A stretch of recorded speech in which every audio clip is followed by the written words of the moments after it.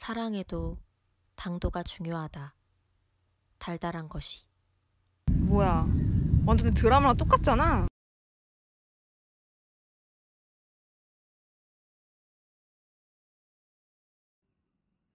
여보세요?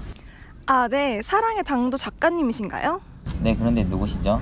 아, 네, 안녕하세요. 저는 사랑의 농도 작가 홍희정이라고 하는데요. 어, 제가 방금 우연히 사랑의 당도 클립 영상을 봤는데, 전체적인 내용도 그렇고, 남녀 주인공 성격이나 전개도 완전히 비슷하다 못해 똑같다는 생각이 드네요. 제목도 농도, 당도. 너무 비슷하지 않나요? 당시 무슨 말씀인지 모르겠네요. 사랑의 당도는 제 머릿속에서 나온 제 드라마인데요. 네? 근데 사랑의 농도는 지난달부터 방영했는데요? 뭐야, 끊었어? 하, 진짜.